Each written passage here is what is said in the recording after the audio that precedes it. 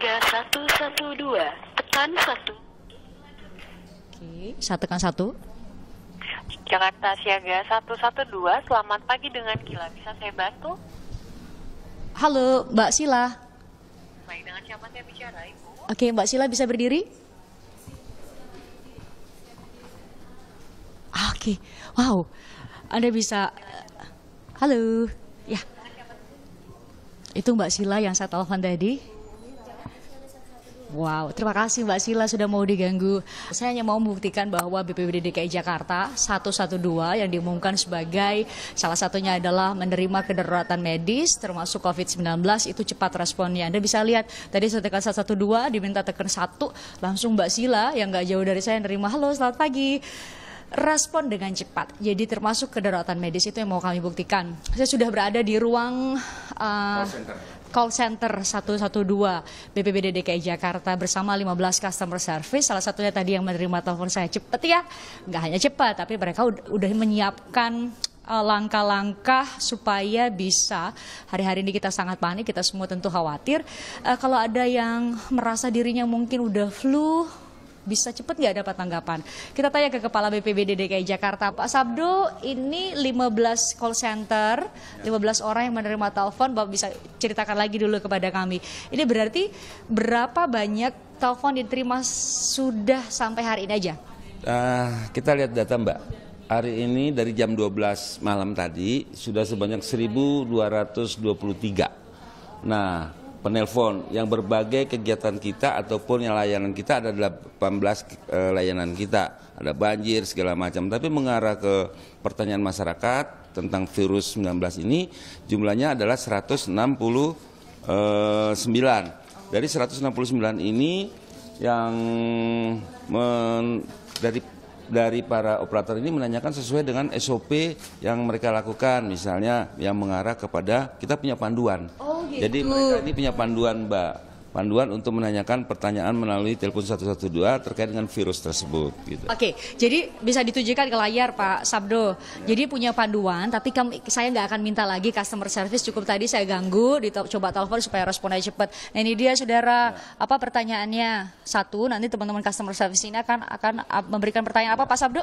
Ya, satu misalnya apakah mengalami flu dan demam lebih dari lima hari. Okay. Kemudian yang kedua, apakah mengalami demam lebih dari lima hari.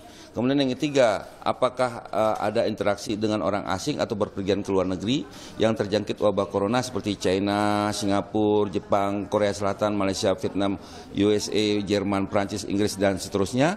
Kemudian apabila dirasakan penelpon itu hanya satu kriteria, maka disarankan uh, untuk mereka ke rumah sakit atau puskesmas terdekat. Namun sebaliknya, itu kalau satu ya, poin satu terpenuhi dari tiga kriteria ini. Tetapi apabila penelpon memenuhi dua atau tiga kriteria di atas, agent call center akan langsung melakukan pendataan dengan pertanyaan nama, nomor telepon dan uh, alamat diagnosa sebagai diagnosa awal riwayat perjalanan mereka berinteraksi rumah sakit yang dituju dan diinformasikan kita langsung ke posko KLB Dinas Kesehatan Provinsi DKI Jakarta dan selanjutnya ditangani dilakukan penjemputan oleh ambulan eh, khusus yang menuju ke rumah sakit rujukan. Sehingga kami harap siapa pun bisa meneri, uh, me, me, mengadukan pengaduan atau menelpon sebagai curhat lah. Kalau kita bilang itu kita sebagai uh, eh, 911-nya sono lah seperti itu. Kita coba. Di luar negeri ya Pak? Yes, jadi inilah kita integrasi juga dengan Dishub, dengan kepolisian, dengan Damkar, kemudian dengan uh, Dinas LH dan sebagainya. Inilah percepatan kita dengan BMKG dan sebagai uh, apa hal-hal lain yang terkait dengan kegiatan kita. Oke, Pak Sabdo saya mengulang tadi, saya atas izin, saudara, saya atas izin Pak Sabdo tadi untuk menelpon dan mencoba, menguji coba untuk perhatikan kepada Anda sedemikian cepatnya respon dari BPBD DKI Jakarta ke nelpon 112. Tapi ada peringatan bagi Anda, Pak Sabdo, kalau saya lihat di belakang sana tuh ada 29 prank call tuh. Aduh, kok ada yang iseng sih nelpon ke BPBD? Ada ya Pak? Sebanyak itu ya Pak? Ya namanya masyarakat, ada yang ingin mencoba, ada yang ingin ngetes, ada yang ingin gitu-gitu dah. Tapi yang jelas kita tetap memberikan pelayanan terbaik dengan kita uh, ramah berbicara dengan SOP yang kita sudah sampaikan. Tetapi kita anggap itu adalah dinamika dalam uh, layanan informasi yang ada di kita gitu loh.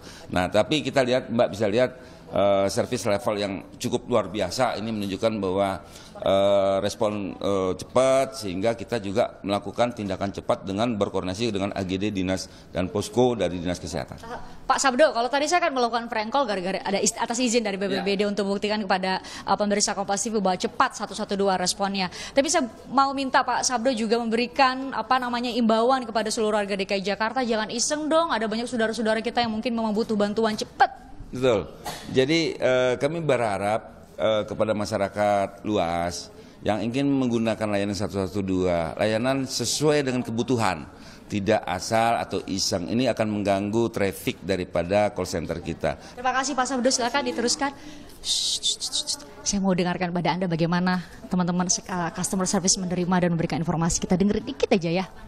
0806 06 758 ya 758 baik ya ini untuk nomor rumahnya di nomor berapa ibu